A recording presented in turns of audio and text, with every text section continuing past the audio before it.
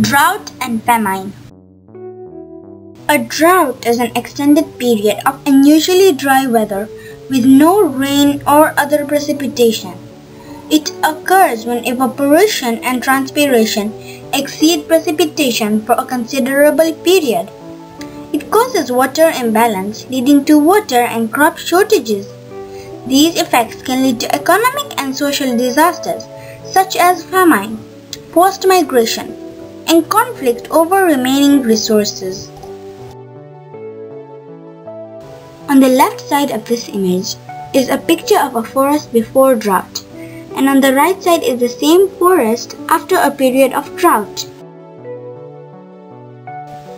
There are four basic kinds of drought. Permanent drought. It characterizes the driest climates. Seasonal drought occurs in climates that have annual rainy and dry seasons. Unpredictable drought involves an abnormal rainfall failure. It often affects a small area. Invisible drought usually occurs in summer when high temperatures induce high rates of evaporation and transpiration. Causes of droughts Water vapor in the atmosphere impacts on droughts being caused as this is what creates precipitation. Moist low pressure air systems, rain, hail, snow and sleet. Dry high pressure air systems, less moisture. El Nino moves air masses above the ocean. Widespread cutting down of trees for fuel reduces the soil's ability to hold water, drying out the ground, triggering desertification and leading to drought.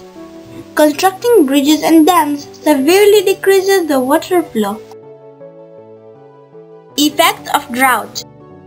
Diminished crop growth. Loss of animals. Famine. Malnutrition and other diseases. Migration. Wildfires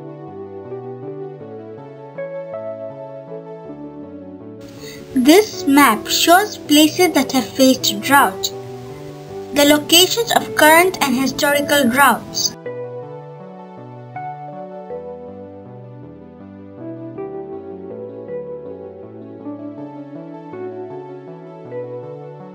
Drought affected area in the world. The North and South America, the Australia, the East, South and Middle East Asia, and finally the East, South and North Africa. This chart shows the famine victims worldwide since the 1860s.